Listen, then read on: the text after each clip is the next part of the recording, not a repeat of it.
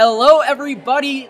This is the Business Boot Up of the Dreamers and Doers podcast. I'm Braden, and I'm joined by my awesome co-host Sammy Grace. Hi, Braden. Each week we'll come to you live from the Norman's Farmers Market, where you will hear interviews from our younger and our older entrepreneurs who will inspire, educate, and give you action steps to help your own business.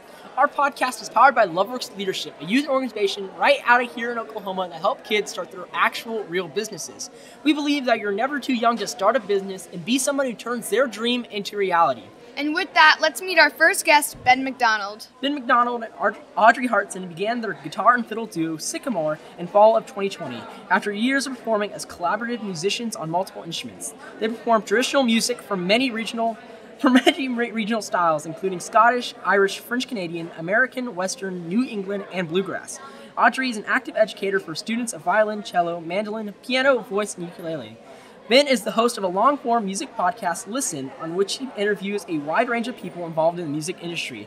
They both graduated from Central Michigan University with bachelor's degrees in music in 2019 and will graduate from the University of Oklahoma with master's degree in music later this month.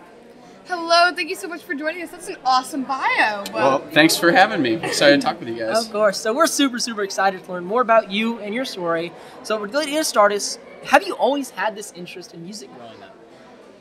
I would say, yeah, I think I've always been interested. I grew up in Tennessee, uh, right outside Nashville, which may have something to do with it, but my family is completely unmusical. Like, really not at all. My dad plays guitar just recreationally, um, but I joined band in middle school to play drums. Like, I just wanted to hit stuff and play loud, and I tried it and was terrible at it. And so then my band director was like, maybe we should try something else. And so I played saxophone originally um, or that's when I what I started with, and that's actually what I study at school. Like I'm a saxophonist first, um, and then Audrey, my partner, is a is a violinist, and like like um, the bio said that we met at Central Michigan University, and then um, with that, uh, growing up in Tennessee, one thing that was always a big love of mine was like bluegrass and fiddle music and folk tunes and stuff that. like that.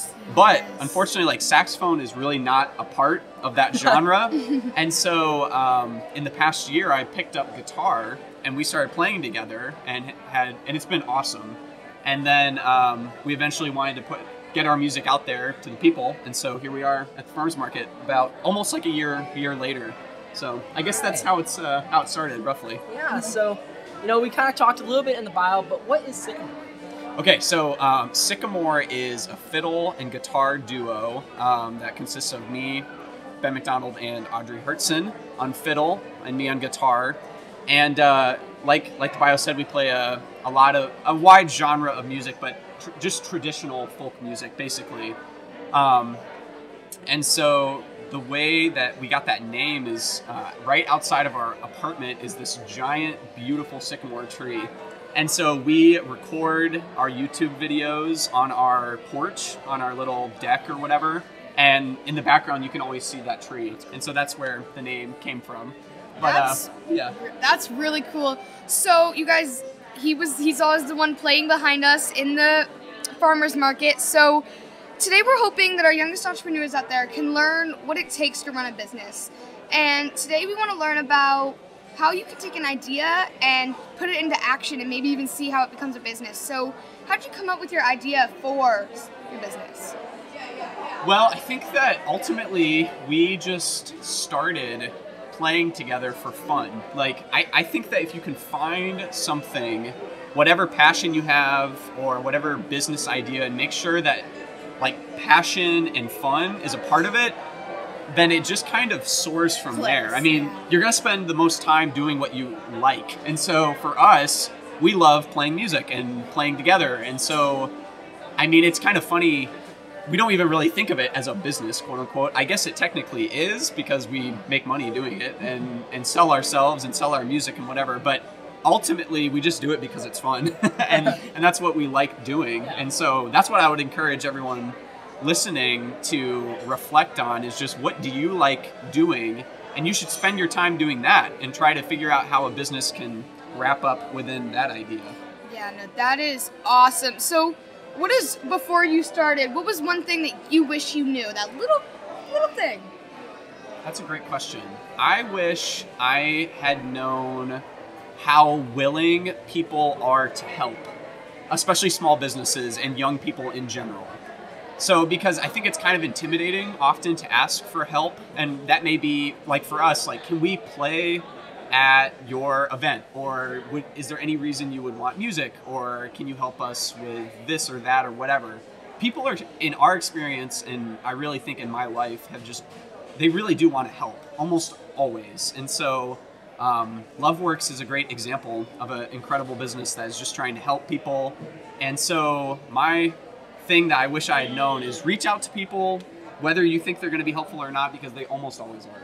That, that is really powerful, and I know our young listeners they might be kind of like they're kind of nervous to reach out to people. it's, it's scary. yeah, it is. But thank you for that. And so for our last question, kind of wrapping this all up, what's that like one tip that you want to leave with our listeners? I think my one tip would be find your passion, embrace it, and get after it. Ask people for help, but ultimately it's up to you to determine what you want to do in this world, and you can do it. Don't So be just get out embarrassed by it. No, no, embrace it full full out and people people get fired up from passion. You know, when they see other people passionate about what they're doing, that gets them fired up and gets them uh, also passionate about what you're doing. So just find your passion and get after it. I love that. Ben, thank you so much for your time. I know that we inspired, you inspired some viewers out there. So before we completely wrap up, what is where can we find you? Where can our viewers find you? Yeah, so um, we're on Facebook and Instagram and YouTube, uh, Sycamore Duo at Sycamore Duo. Um, check us out. We've got all the stuff online. Also, like uh, in the bio, I'm a host of another podcast that you can listen to uh, long form interviews with other musicians and stuff. It's called Listen, and it's on all the all the mediums. So All check mediums. us out. Yeah, you guys are awesome. Again, thank you so much for your time. And viewers, we're going to be real quick, right, right back with our next guest. Thank you so much. Thank you guys. Welcome. All right, viewers, we are back with our next guest. Let's meet our next guest, Chris Willer. Chris Willer is a fifth grader at Cleveland Elementary School in Norman. Chris is 11, is a swimmer, act, artist, and actor who has appeared in several plays at Sooner Theater. He joined the LoveWorks Leadership Program in January and was accepted to the Business Boot Up Cohort in March. Chris was guided by LoveWorks staff and came up with the idea to market and sell over three dozen oil paintings in during the pandemic. So, hello, Chris. How are you doing today? I'm doing good, Braden. That is awesome to hear. So, we're really excited to learn more about you and your story. So, what is your business and how did it start? So my business is Chris's Creations, and basically how it started was um, we I was I had painted a lot during the pandemic. I had gotten into oil painting because honestly it was July. It was like what four months into the pandemic. I was for those previous four months I was either on online school or on my Xbox or watching YouTube or something. I was bored out of my mind. So I thought, why not just start painting? So I did. I started painting, and then um, in January, of course, I joined the LoveWorks Leadership Program, um, and then in fe- late February, I joined the Business Boot Up Cohort One, and uh, from there, I've sold my oil paintings. Um, last week, we sold about 13 um, and we made $96 uh, off of that and we're hoping to make more today um, i'm really excited for uh, the upcoming um, sales today All right. So we are so pumped. Today we're hoping to inspire our youngest entrepreneurs out there to help up come with their product ideas. So how'd you come up with oil paintings? Well, it's pretty simple. So, me and my dad were in my room and we were sitting down, and we were just thinking. I knew I wanted to do the Business Boot Up program because that's just something that I wanted to do. I thought it was pretty neat, and I just wanted to do it. And we were sitting down and we were thinking, what would you sell? And I was thinking I could sell guacamole. That was my first option because we at our house we have Taco Fridays, and I always my mom always asks me to make the guacamole, and it's so good. But my dad made the point that guacamole could go bad and that wouldn't be good. So then, scrap that idea. We got to thinking, and then my dad said those two words that started countless businesses. What if? He said, What if you sold your oil paintings? And at first I was reluctant to the idea, but um, after a while of thinking, I got on board. Um, published the pitch video to the Loveworks Leadership Program. They accepted me, and the rest is history. So that is really awesome. I love that story. I love guacamole myself. It's really delicious, but I do understand you got to eat it quick or else it goes bad. Right. So, what is one of your biggest takeaways of being a part of the Business Boot Up program? Well, um, one of the biggest takeaways is the fact that I think over the course of my selling, I've become less socially awkward or like less like scared to go up to people. Like, well, the first time I. I am not a good person around complete strangers. Like around complete strangers, I am shy. I am like I will not interact with them because I don't want to like say anything that might like ruin their day or be weird or awkward or something. I hate awkwardness. So I just didn't do that. And then I was and then I was taught over um last uh last week um and that to uh You kind of like built your confidence up. Right, Did you, right, right, right, right, exactly. I built my confidence up, and it really helped um, my Social interaction. social skills, I guess. Yeah. Uh, Because it's, it's, it's scary your first time, but you know, right, actually getting because that I hands-on experience. Right, because you don't want to go up to people and be like, "Hi, can you sell my painting? Can you like At the same time, you don't want my to be you want to paintings?" anno- annoy them. You yeah. don't want to annoy them, right? That's what that was what I was fearing, was annoying my customers.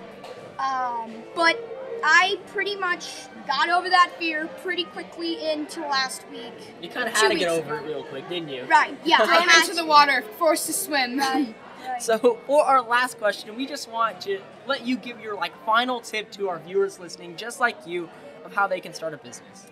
Uh, my only piece of advice is to just go for it. Is to just go out there, even if even if the business doesn't seem like a good idea, or like you think it's gonna fail, or like it's not a good idea, you're not gonna make money. It's not about the money; it's about the experience, and um, just go for it. Honestly, uh, is all I can say. Another thing that I would say is, if, especially if you're selling at the farmers market, um, or something, or as if you're selling in general, business is going to be slow at first. Like it's going to get slow. So don't get discouraged and don't think that your bu- business is bad um, just because within the first hour you've sold like what two. They of just your don't know you're there yet. Right. People come in at later times. It's just nature of humans. So don't get too discouraged uh, and just go for it. Chris, that was thank you so much. You're awesome. So we thank you such you know, I know you inspired some people out there. You inspired me a little bit today. But we're not gonna end it just with that. How where can we find you?